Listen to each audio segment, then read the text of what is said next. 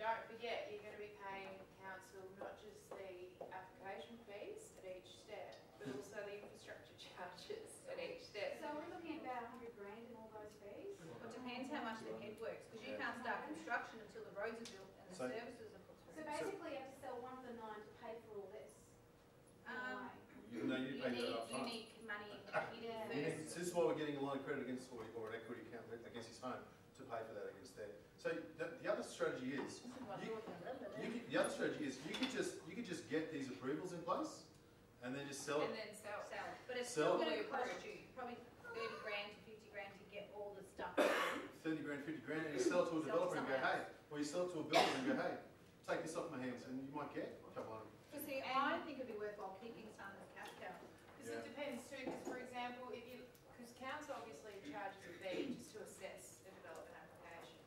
Once they provide approval, uh, they charge infrastructure charges. Um, there's separate infrastructure charges on a subdivision as well as an MCU. Um, so there's two lots of infrastructure charges you've got there. These subdivision infrastructure charges pretty much are payable when you get the approval. The MCU infrastructure charges aren't due and payable until the change actually happens. And that approval's valid for four years. So you could, as Martine says, um, look at just applying for the approvals now. Then you've still got a couple of years to decide whether you want to continue with developing it yourself or sell it as an approved We see that a lot, I see that JV a lot. find a builder and JV with a builder. Yeah, I see that a lot. They get the MCU, you get all operational works, all approved, and then builder will build See, my something. initial thoughts were, I've got the one there already, I got that tenanted out. Come over to the other side, on the road, mm-hmm.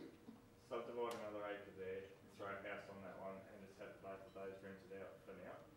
And then just see what the longer term goal is, just as, Do you want to subdivide this bit here? yeah, So you want to do, so that's just a boundary realignment, because the Yeah. house was on there. To do another one, you actually have to do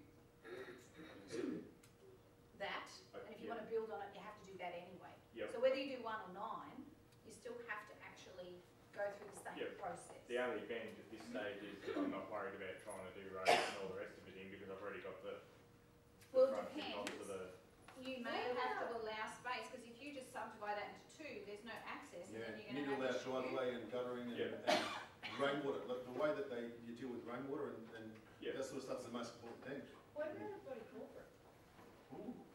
strata title instead of subdivide. Um, you can. No, I can't sell it, I can't, I can't finance it. No? Not in that area. So I was just thinking it's gonna save costs on the, um, on the service Mm. aspects. You- the- So what you, you have to do, s- the key with this would be doing all the due diligence up front. So with any deal that you do, you must take your profit in the front end. You have to know exactly what your profit is. You don't wait till the back end because you may not be able to guarantee. You've got to make sure you factor it in now. So there's a lot of um, detailed information that you need to go and obtain Yeah. first, and then do a scenario analysis and say, okay, the costs to do all the approvals and applications is X. Yeah. Then the infrastructure costs to pay are Y. Then there's going to be physical headworks, which is the construction of the road, and then you know sewage and electricity down to each of the lots is another cost. So you need to know all those base costs first, and once you know those, you then either go and find a builder to do some turnkey terms on their construction contract, and a big builder, they'll charge a bit more, you don't give a shit, they're paying it. They factor in the interest of, the construction, you don't care. You don't have any you know, loans that you need to deal with, you pay it at the end. Yeah.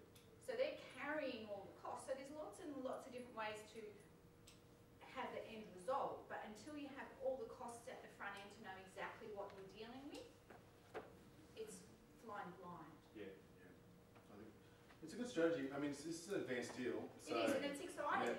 Yeah, it's, And and I, I wouldn't, my, personally, I wouldn't like to have nine properties in Shores, like just me, I wouldn't. Um, you know, I'd probably sell some, pluck off the some. best ones to keep, Yeah, and then sell, like, is there, what's behind here, is there like Yeah, it depends on- forest or? What- is what it would that other sell for? Like, is there other comparable sales? Is Is there other comparable rentals? What's the vacancy rate? Yeah, there's so many more factors you've got to study. Um, Yeah. you know, what's, if there's mining coming, well, okay, that, that's still, you know, a guess, isn't it? Yeah, there's So these- another these are road that runs exciting. behind. Oh, so there's access Oh, here. Yep. So potentially, No, those two could come this up could there. be a I've already thought through about going road. back the other Oh, way. wow. I just- So you've That makes actually it got easier. through road, so that's great. Is your services on that road already hooked up? Uh, yeah, there would be, because there's other Okay. properties that then run behind there as So well. that's what you can tap into when you do the through, yeah. Okay, So, Um, so yes, I would sell it into here. And two hundred thousand dollars stamp duty is gonna be like three, four, five grand, nothing. Yeah. And then the other ch- challenge, um, that you would look at is if you're gonna retain them, say you're gonna keep four and sell five, say. Actually, it'd be five and five, that one's kept. Um, look at actually doing a duplication of the trust, so even though it's the same trust, you may have each individual property in its own sub-trust of this trust.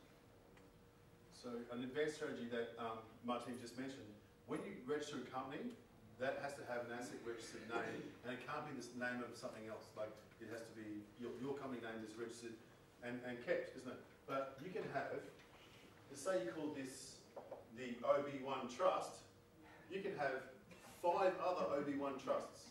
You can have them all the same name.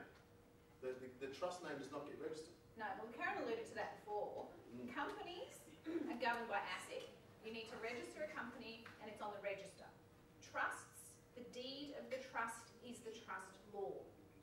So I've seen many, many, many disastrous shit trusts that have no ability to do what you need to do. And the challenge is, if it's not in the deed, it doesn't matter, you can't do it.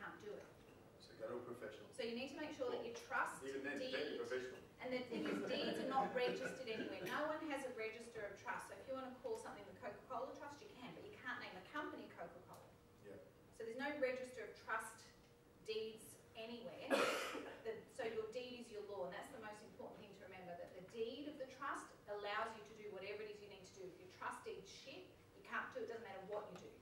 You then have to vest that trust. You can't generally overlay the terms of the trust. You can change some things in a trust without vesting it, but major changes means the trust gets vested, which means that all the assets have to be disposed of, and then there's capital gains tax issues, etc., etc. So the trust deed in these scenarios is really crucial. So in this scenario, if we wanted to do sub-trusts to make sure that once the properties are subdivided, each individual property was in its own trust, you have to make sure that the trust allowed you to do that, otherwise it can't be done. Well, and to make sure the trustee actually allows you to develop land in the first place. Some don't have. Mine in are good. Mine are awesome, they Do know you want to, everything. is there a good value out of that?